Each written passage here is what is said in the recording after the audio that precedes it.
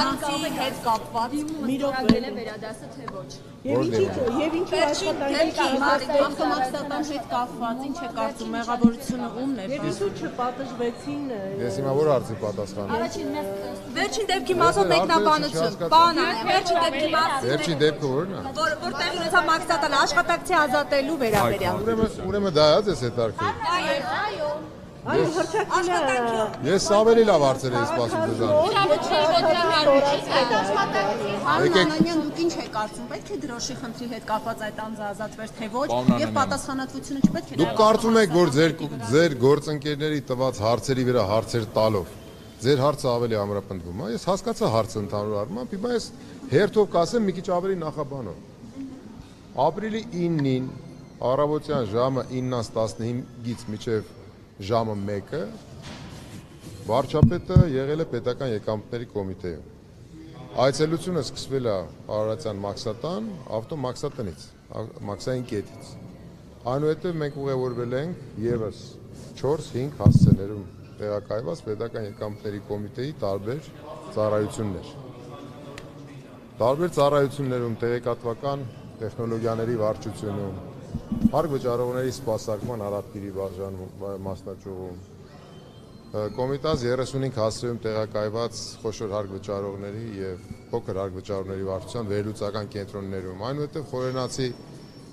3 խորենացի 7 հասցեում գտնվող մոնիտորինգային կենտրոն կենտրոնում, հերախոսազանգերի կենտրոնում, այս ամբողջ այցելության արդյունքներով հետո պարոն վարչապետը իր տեսակետներն է հայ- հայտնել հանրությանը։ Ուրեմն դուք կենտրոնացել եք մի փոքր էպիզոդի վրա։ Ես մի վարքյա, մի վարքյա։ Ես պատասխանում եմ ձեր հարցին։ Հիմա տեսեք։ Դուք կենտրոնացել եք այն էպիզոդի վրա, որը ձեր կարծիքով ինչ առերևույթ ինչ որ սենսացիա է պարունակում։ Չէ որ մարդկային ճակատագրի Թողեք, հարցը մարդկային ճակատագրի մարդկային ճակատագրի հարց չկա որևէ։ Մի վարքյան, ե- դուք մենք կարծեմ հարց ու պատասխան, ա, սա երկխոսություն չի։ Հարցը տվել եք, հիմա ես առաջարկում եմ որ լսեք պատասխանը։ Միջև վերջ, կասեմ, ինձ թվում է կսպար կսպարիչ կլինի։ Այն ինչ որ վարչապետը տեսավ ու իր իր դուրը չեկավ եւ վարչապետը որոշակի մտքեր արտահայտեց եւ կոչ ու կոչ կամ հորդորներ ասեց,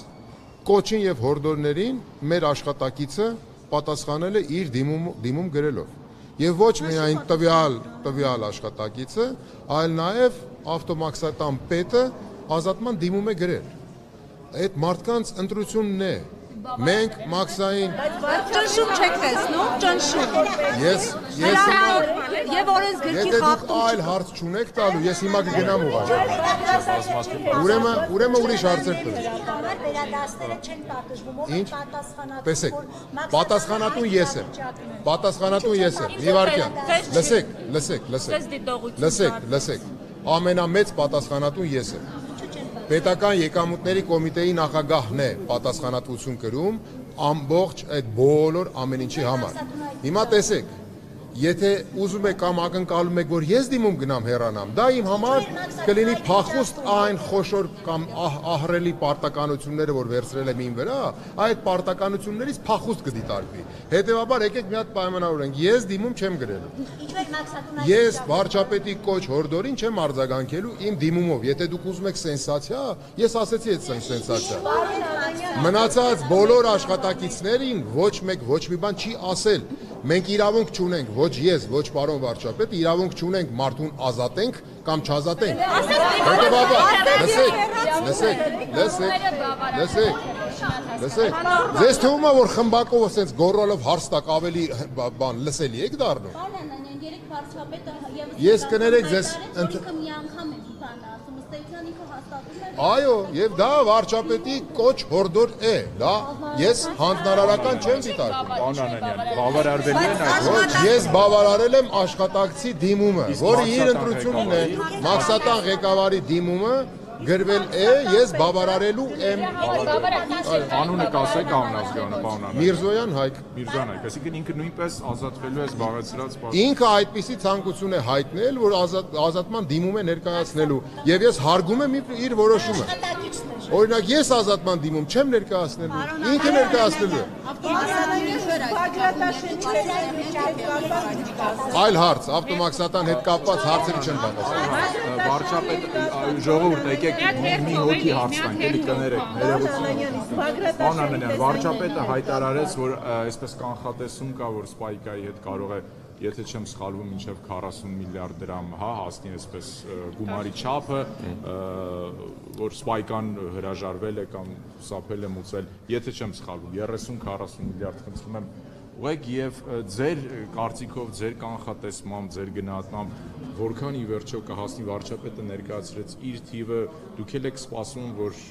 օրինակ տնորենը խոսում էր մինչև 50 միլիարդի մասին, ասում էր, այ գիտեք, ինձ քննիչը քննիչը ձեր տեղակալը, կարծեմ ձեր տեղակալը իրեն ասել է այսպես անձնական զրույցում, որ հնարավոր է մինչև 50 միլիարդ հասնի։ Հարցը հետեւյալն է, ձեր կանխատեսմամբ որքան կհասնի այդ գումարը Spike-ի հետ կապված։ Այդ տվյալ թեմաների շուրջ կանխատեսում անելը ինքը ճիշտ չի։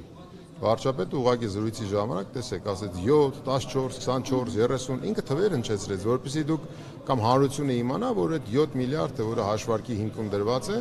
դա ուղղակի 15 թվականին առնչվող հաշվարկ է։ 15 թվականին վերաբերող փաստաթղթերը ունենք, փաստաթղթերի հիման վրա այդպիսի հաշվարկ է կատարվել։ Բայց կա նաև կա 2.5 տարվա ժամանակաշրջան, որոնց փաստաթղթերը ձեռքբերման process-ում ենք մենք, եւ այդ փաստաթղթերը ունենալուն պես հաշվարկներ կկատարվեն եւ հաշվարկների արդյունքը եւս կտեղեկացվի։ Չի բացառվում, որ այդ 7 միլիարդը կարող է աճել, ճիշտ եմ ես հասկանում ձեզ, պարոն Անանյան։ Ներողություն։ Չի բացառվում, որ այդ 7 միլիարդը կարող է աճել, ճիշտ եմ ձեզ հասկանում։ ոչ միայն չի բացառվում, այլ կարծում եմ, որ աճելու է, որովհետև տեսեք, եթե մենք ունենք 3.5 տարվա ժամանակաշրջանին առնչվող այդպիսի առերևույթ հանցագործություն պարունակող ինչ որ այդպիսի վարկագիծ, մենք այդ վարկագծի մենակ մոտ 30%-ը ժամանակագրական առումով 30%-ը ոչ արժեքային առումով 30%-ին առնչվող փաստաթղթեր ունենք, որոնց վերաբերյալ կատարել ենք հաշվարկներ։ Հաշվարկները ինչ դուրս ցույց կտա, ես դա չեմ կարող ասել։ Վարչապետի խոսքը ուղղակի դա բանի բան տեղեկատվական ընդհանուր ինչ որ մոտավորություն պարունակող բան էր, որը Տնօրենի բան չկա։ գնահատմամբ հետապնդում է դա իր նկատմամբ եւ ինչու նախապես երբ որ Տնօրենի- բաց ը, Չէ, տնօրենի կարծիքով դա հետապնդում չէ, եթե դուք ուշադիր եք լսել, դա հետապնդում չէ։ Եվ տեսեք, ստեղ շատ կարևոր բան կա, այստեղ պետք նախագահական վարչապետը այս պահին պետք այդքան էլ իրավասու չեն հանրությանը տեղեկատվություն ներկայացնելու, որովհետև արդեն իրավական գործընթաց է գնում։ Այստեղ ամենակարևոր մարդը քննիչն է։ Քննություն իրականացնող քննիչն է։ Տեսեք,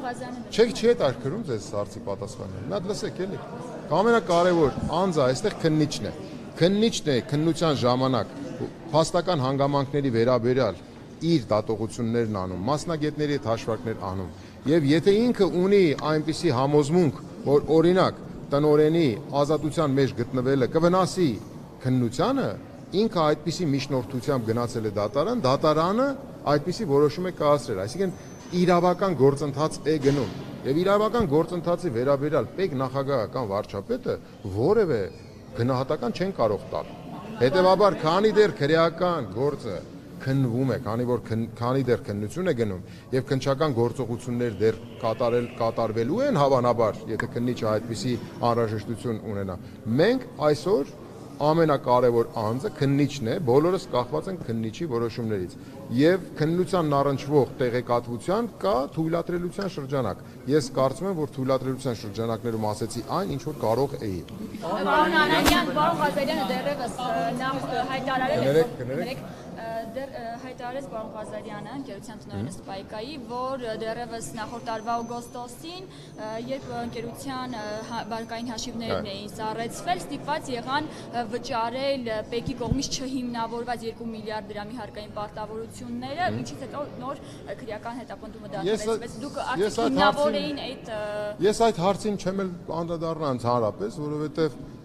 էլի կար քրեական գործ, քրեական գործը մի պահ կասեցվեց, քրեական գործից առանձնացվեցին որոշ դրվագներ եւ այդ դրվագների վերաբերյալ կազմակերպությունը ներկայացրել ճշտված հաշվարկներ։ Այդ գումարները պետական եկամուտների կոմիտեի կողմից չեն առաջադրվել իրենց։ Կազմակերպությունը ինքը իր վարկագծով, այսինքն ճշտված հաշվարկ ներկայացնելով ինքն է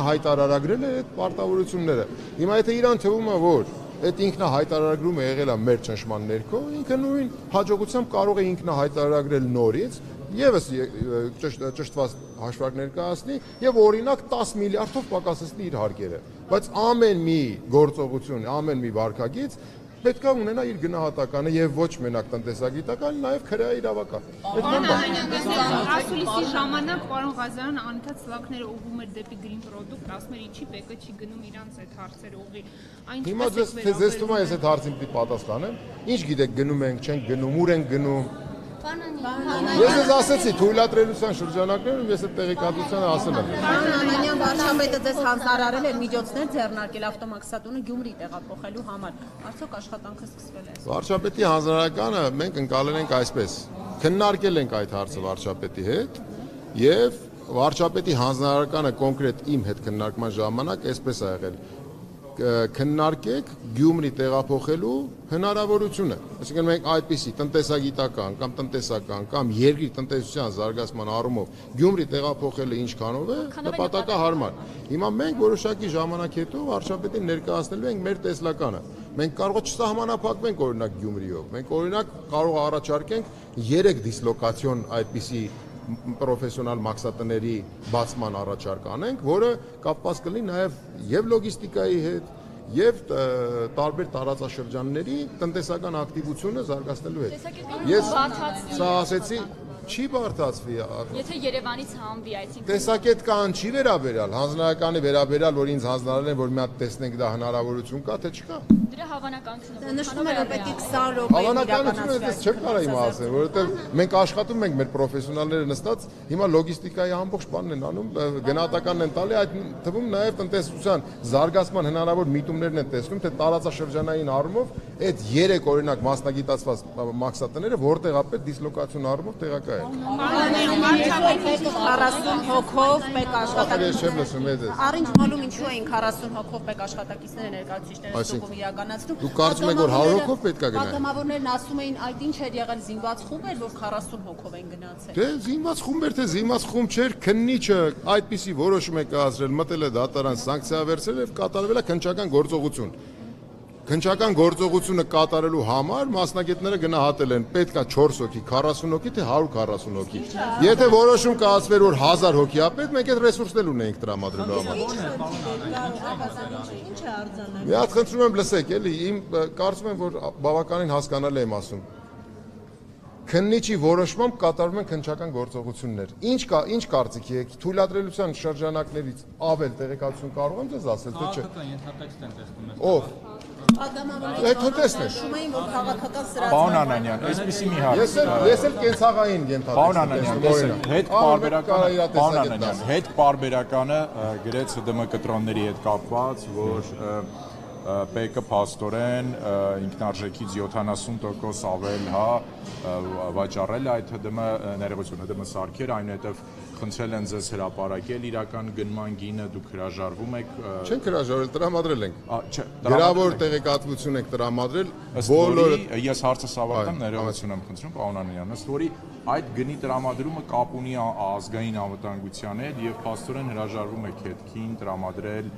թե որքանով եք չինական այդ ընկերությունից ՀԴՄ սարքերը ՊԿ գնել։ Այստեղից երկու հարց. ինչու է ՊԿ 70% ինքնարժեքից բարձր, հա, վաճառում եւ ինչու է հրաժարվում ըստ հետքի իրենց տրամադրել այդ գինը, գնման գինը, որքանով է Հայաստանի Հանրապետությունը ձեռք բերել այդ սարքավորումը։ Տեսեք, դուք ասացիք տեղեկատվություն, որը ես չեմ հաստատում, տեղեկատվության հիման վրա տվեցիք մի քանի հարց, որին պատասխանել չեմ կարող, որովհետև ես չեմ կարող ասել